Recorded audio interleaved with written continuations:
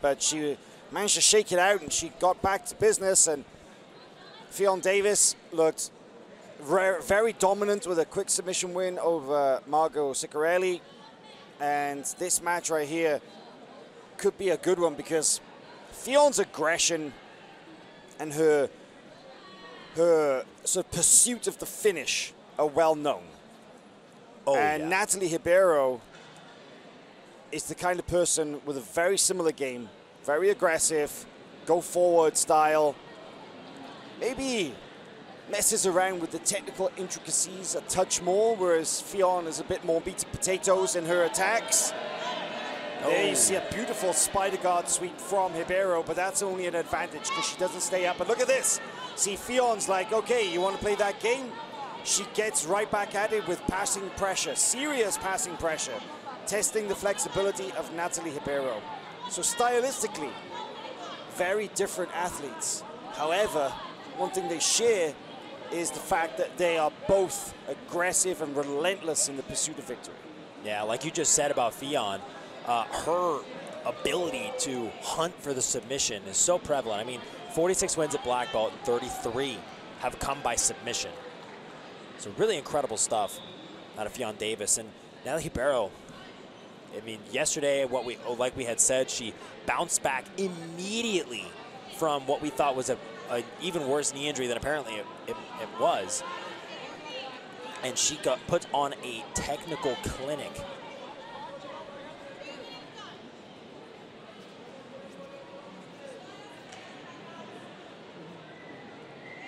Ffion Davies has to be one of the best guard passers in the division, in my opinion.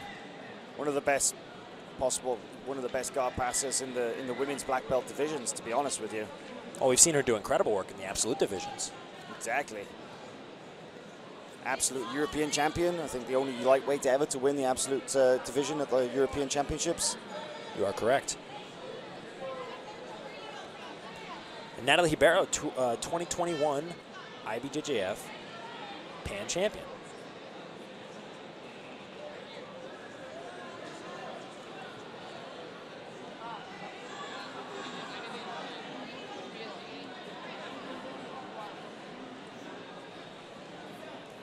Nathalie Ribeiro up by one advantage here after that near sweep attempt.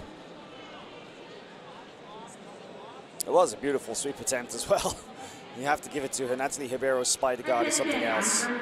That's where her flexibility is uh, such a useful asset, right? She's so good at uh, uh, using that flexibility to take her opponents in into places that they just normally would not be.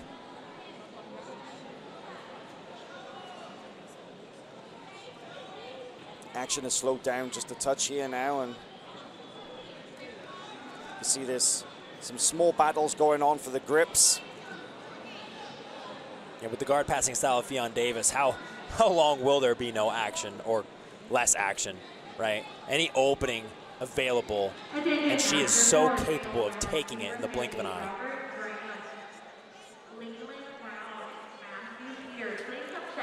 Changes up the approach just a touch now, whereas she was going around the legs. Now she's trying to go under.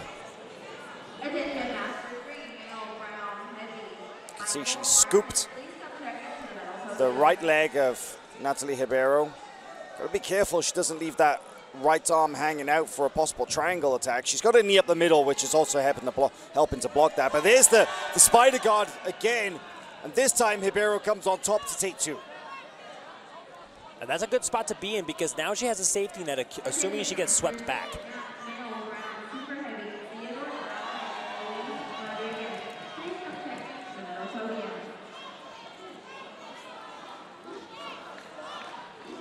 You hear the checkmat crowd getting very excited for Nathalie Ribeiro. Oh, they get animated, that's for sure.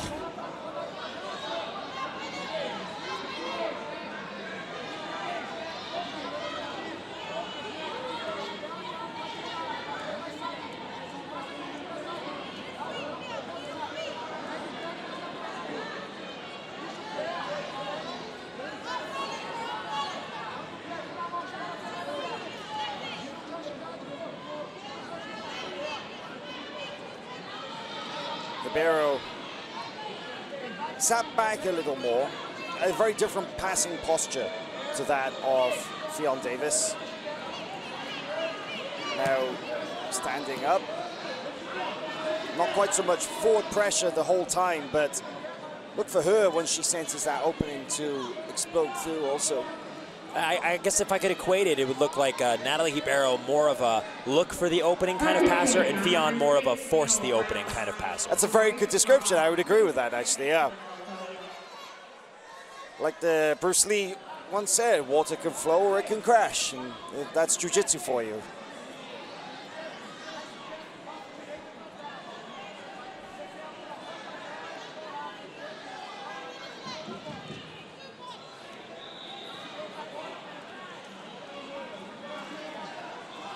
But I think at this situation in the match, Nathalie Ribeiro is doing the right thing. She's putting enough pressure to, to get Ffion to open up a little bit more, which will open the pass. But also, Nathalie doesn't need too much. She has a pretty measurable lead. If she gets swept, she has the advantage as yep. a buffer. Yep. So she can wait for it at whatever pace she deems necessary. Yeah, that's where it comes into uh, that's where the, the knowledge of the rules and uh, exactly what the points are is so important because a competitor down by two with the one advantage would know that a sweep is not enough. That scoring two would still put you at a deficit, a small deficit, but a deficit still. And so a sweep and a guard pass, or a sweep directly into the mount, for example, would be so much more important in that situation. And that's why I say knowledge of the rules is so important because why waste your energy on something that is only going to it's to not going to result in the win, right? You've got to do what's necessary in a certain situation. You know how to act appropriately to put yourself in a winning position. Absolutely. And you know, that's what's really cool about, uh, you know, there's some people who say we wish black belt matches were shorter. Some people who say that their 10 minutes is a good amount of time. But the cool thing about the 10 minutes is it all all of these factors we talk about as far as you know putting yourself in a bad spot or putting yourself in a good spot, it all has to do with how much time is in the match. Like right now, Ffion has to open up more just because she has two minutes and 30 seconds left. And if she doesn't open up like she is right now, trying to go underneath to potentially force a berimbolo situation, then Nathalie Ribeiro could just continue to surf on top and keep herself out of harm's way to net a victory.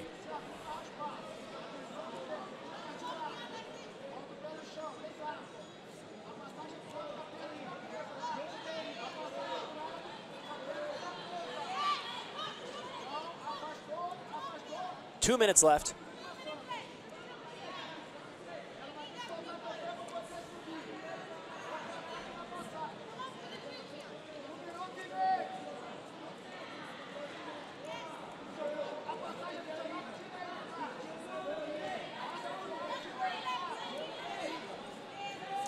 Now Ffion looking to expose an arm through a arm drag grip, really reaching for a lot of different options here as the clock is winding down.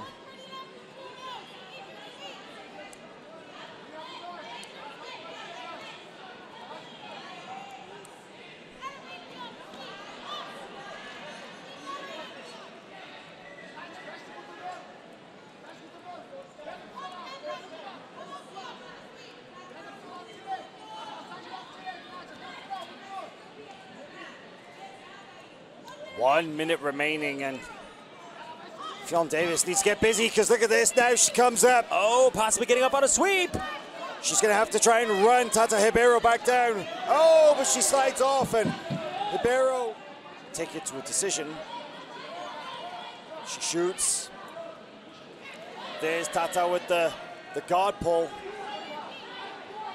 And Nathalie Ribeiro needs to be very careful to keep Ffion in between her hips make sure that she does not allow Ffion to get going and get the momentum going here in the last 40 seconds.